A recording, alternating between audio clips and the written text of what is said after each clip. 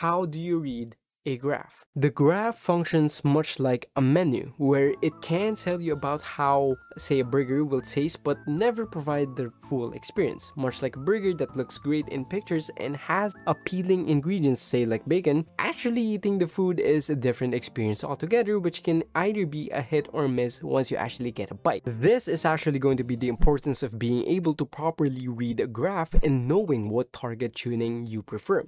Going in blind can be a rewarding experience, but it can also easily turn into an expensive nightmare. Now, let's look at the numbers. Do bear in mind that the segment of a graph varies from graph to graph and person to person. So for the sake of consistency, find one set and stick to it. For me, this is how I interpret the segments. 20 to 60 Hz is the sub-bass, which includes stuff like the deep rumbles of a moving train.